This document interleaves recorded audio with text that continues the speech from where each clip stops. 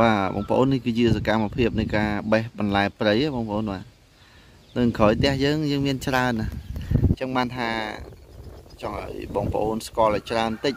ពាក់ព័ន្ធនឹងរបស់ធម្មជាតិណាដែលយើងអាចហូបបានរបស់ណាដែលយើងមិនអាចហូបបានអញ្ចឹងបងរបស់ខ្ញុំគាត់បេះនេះអាហ្នឹងគេហៅស្ពៃស្ពៃទឹកបាទស្ពៃទឹកយើងផ្ទាប់ជាមួយនឹងប្រហុកពហុអីបាញ់ឆៅអីបាទនេះនេះដើមវាបងប្អូនបាទនេះ អញ្ចឹងបងប្អូនគួរណាតែស្គាល់អាហ្នឹងវាឆ្ងាញ់ណា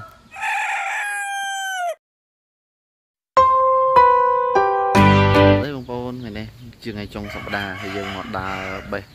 បន្លែព្រៃលេងផងដែរបាទនៅក្រៅផ្ទះបាទហើយយើងបេះហ្នឹងគឺ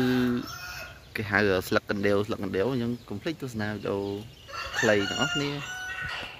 បន្តិចបាទបងប្អូននេះគឺខ្ញុំមកបង្ហាញ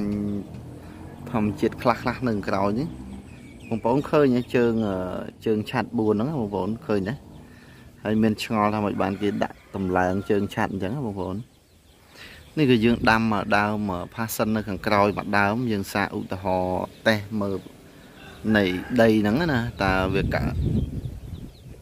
ដាំទៅវាកើតអត់អញ្ចឹងហើយខ្ញុំសាកតេស្តបងប្អូនមើលលេងហើយខ្ញុំក៏បានថតវីដេអូនោះនេះទុកដើម្បី ចែករំលែកជូន ក្នុងការទស្សនាលេងកំសាន្តបាទអញ្ចឹងឥឡូវយើងដើរជាមួយយើងដើរយើងដើរចូលទៅចិត្តបន្តិចហើយនឹងខ្ញុំបង្ហាញដើមផាសិនដែលយើងដាំណាផាសិនហ្នឹងគឺវាចាប់ដើមបោះធួយឡើងណាបោះដៃឡើងណាបាទនេះចាំមើលហើយជាមួយខែពីរខែទៀតខ្ញុំនឹងបង្ហាញវីដេអូនឹងបន្ថែមទៀតតើវាឡើងត្រឹងអត់ ហើយផាសិននេះគឺផាសិនយើងបានពូជយកមកពីមណ្ឌលខេត្តមណ្ឌលគិរីយើងសាកតេស្តវាលេងដាំលេងជាមួយខ្ញុំនឹងដើរទៅបង្ហាញបងប្អូននៅចិត្តតែម្ដងបាទខ្ញុំនឹងថតយករូបភាពនឹងបង្ហាញឲ្យបងប្អូនឃើញកាន់តែច្បាស់មែនតើឥឡូវយើងមកចូលមកចិត្តហើយបាទយើងចូលមកចិត្តហើយហើយនេះអឺ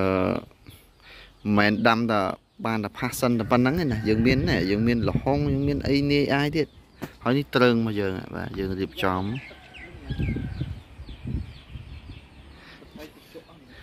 យើងរៀបចំឡើងមកស្អាតអញ្ចឹងណាបងប្អូនហើយនេះប្រគុណប្រគុណយើងលូយើងយើងប្រហោមកនេះ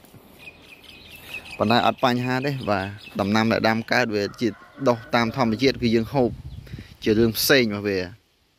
ជារឿងផ្សេងអញ្ចឹងណាបងប្អូនបាទហើយនេះគឺ passion ខ្ញុំមកបង្ហាញបងប្អូនបាទអញ្ចឹងវាចាប់ដើមបោះដៃឡើងហើយបាទបោះត្រួយឡើងហើយគឺល្អខ្លាំងណាគឺល្អខ្លាំងមែនតើបងប្អូនបាទនឹងក្រៅយើងហ្នឹងហើយយើងមកងាកមកខាងនេះគឺយើងមាននេះនេះសារថ្នាំនេះបងប្អូនថ្នាំដែលខ្ញុំបង្ហាញបាទបងប្អូននេះគឺជាសកម្មភាពនៃការបេះបន្លែព្រៃបងប្អូនបាទនៅក្រោយផ្ទះយើងយើងមានច្រើនណាអញ្ចឹងបានថាចង់ឲ្យបងប្អូនស្គាល់ឲ្យច្រើនតិច ពាក់ព័ន្ធនឹងរបស់ធម្មជាតិណាដែលយើងអាចហូបបានរបស់ណាដែលយើងមិនអាចហូបបានអញ្ចឹងបងរបស់ខ្ញុំគាត់បេះនេះអាហ្នឹងគេហៅស្ពៃស្ពៃទឹកបាទស្ពៃទឹកយើងផ្ទាប់ជាមួយនឹងប្រហុកពហុអីបាញ់ឆៅអីបាទនេះនេះដើមវាបងប្អូនបាទនេះអញ្ចឹងបងប្អូនគួរណាតែស្គាល់អាហ្នឹងវាឆ្ងាញ់ណាតបមួយបាញ់ឆៅអីគឺអែមអែមមែនតើបាទកូនម្ទេសហើយនេះសិតតែម្ទេសបងប្អូនអើយ នឹងលពឹសដៃតៃឆ្អែតបងប្អូនយើងមកសុំសុំបង្ហាញច្បាស់នេះមកចែកម្លែកឲ្យបងប្អូនយើងបានស្គាល់បាទនេះនេះនេះនឹងគេហៅស្ពៃទឹកបងប្អូនបាទនឹងគេគេគេញ៉ាំគេបន្ទាប់នំបញ្ចុកអីហ្នឹងគឺអាចហូបបានមិនឆៅអីហ្នឹងអូបេះខ្ញុំអត់គោទៅនេះបាទបងប្អូននេះគឺជាសកម្មភាពនៃការដើរបេះ បន្លែព្រៃដែលគេហៅថាស្លឹកកដៀវស្លឹកកដៀវបងប្អូនយើងបាទនេះហើយអាហ្នឹងគឺវាថ្លៃអាស្លឹកហ្នឹងនេះយើងបេះនេះបាច់តិចតិចតិចផ្សាយផ្សំទៅស្លឹកហ្នឹងគឺវាឆ្ងាញ់រសជាតិឆ្ងាញ់ឆ្ងាញ់មកនេះបុកខោនេះបេះបេះតំតាមពីបាក់យើងបុកខោ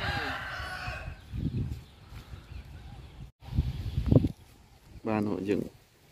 បែកខ្ចី